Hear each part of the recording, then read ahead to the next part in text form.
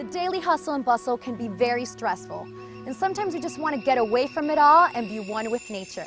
Tucked away in Delray Beach, Florida, is a Morikami Museum and Japanese Gardens, and here we can do just that.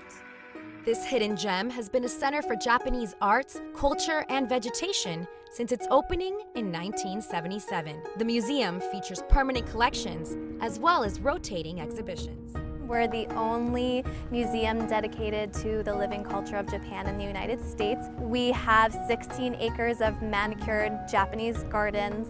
There are six distinct historical Japanese gardens, beginning from the 9th century up to more contemporary Japanese gardens. So you'll see rock gardens, gardens that are more rustic, and gardens that are more manicured and were originally meant to be seen by boats. We really get a very diverse group of visitors here. We have year-round residents, young families, we get a lot of tourists, people from all over the world. Even though we're in a tropical climate, we've still managed to create a real authentic Japanese experience for our visitors.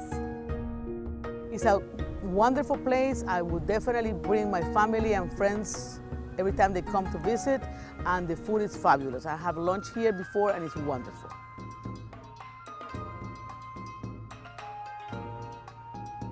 I didn't want to leave the gardens to take a lunch break, so I came to the Cornell Cafe, voted one of the top three museum dining destinations by the Food Network, and I can see why. They offer delicious Pan-Asian cuisine and a beautiful panoramic view of the gardens. Today I ordered the traditional bento box, some seaweed salad, and green tea. Can't wait to try it.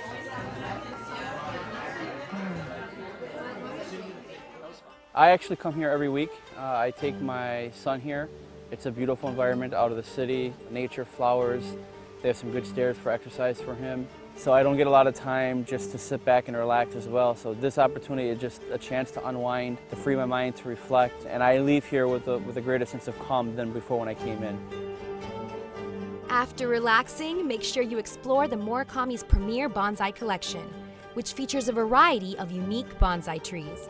And you'll also want to check out the Japanese tea house, seasonal festivals, and diverse educational programs offered. After a few hours at Morikami, I feel like a new person.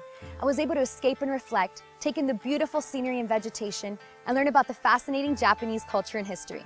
Remember that there's always new events and exhibits here, so check our website for more information.